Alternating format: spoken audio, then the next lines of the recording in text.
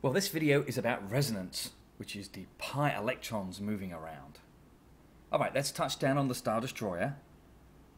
And let's shift this geezer out the way so we can take a look down his telescope. Excuse me. Smash it. Well, I've asked the spaceships in Star Wars universe to line up to look like an ozone molecule, O3. Now notice that every oxygen has eight valence electrons, but there are two resonance structures, or resonance hybrids, if you will, of ozone. One with a double bond on the left and one with a double bond on the right. And you can see that I'm moving around these spaceships, which represent bonds, to show these two resonance hybrids, or resonance structures. So double becomes a single, single becomes a double. Now, pi electrons are moving around and causing this to happen. The molecule is actually more stable if it does this. And what's the truth? Is it one extreme or the other? Well, the truth is actually the molecule has an intermediate structure, which we'll look at a bit later. Oh, Dr. Atkinson's on the bridge. Let me just turn my telescope round so I can see him. There are five other resonance structures we need to look at, so I'm going to look at those in a tick. Let me just zoom in on him.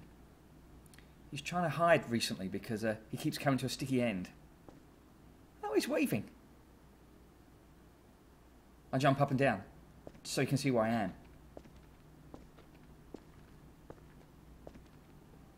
I forgot, in physics, resonance means that when you apply a rhythmical uh, force to an object, you can destroy it. You don't need to know that for IB chemistry. I think I'm safe. I think it's oh, oh dear. And Dr. Atkinson dies his 42nd death at the hands of IB chemistry. Well, next is benzene. I'm going to draw the skeletal structure for that. It's hexagonal with alternating single and double bonds. And there are actually two versions of it. Those are called resonance structures or resonance hybrids. Essentially, the double turns to a single, the single turns to a double. Curly arrows show the movement of these pi electrons. Curly arrow, that's the real word the IB wants you to use. So the pi electrons are the doubles, and they keep moving around, becoming singles. So what is benzene? Well, it's carbons in a hexagon, single, double, single, double. There's the structure.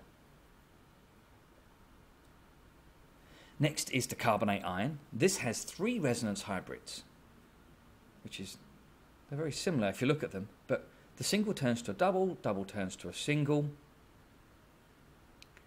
And the third one, knows really, no one's really sure what to do. Do you go back to the second? Do you go back to the first? So I'm just leaving it empty. So there are three resonance hybrids for carbonate.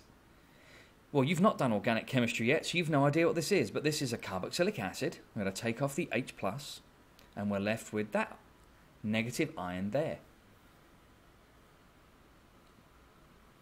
And the resonance now should be looking pretty obvious. Just going to do the same as I've done the last three or four times. That lone pair makes a double, that goes up there to make a lone pair. So these electrons are delocalized, which means they're not in one spot. They're delocalized pi electrons. Delocalized pi electrons. From the p orbital, the pi electrons, of course. So if the truth is in between those two extreme structures, how do you show it? Well, let's erase all of those lone pairs and just draw a dotty line.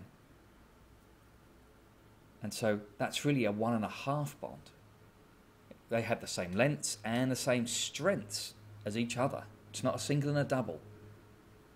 Why do things resonate? Well, it gives them a lower energy, makes them more stable. That's the nitrite ion. Don't eat that. It's linked to stomach cancer. Does look just like ozone. Don't breathe that. It gives you lung problems. And again, single to double, double to single.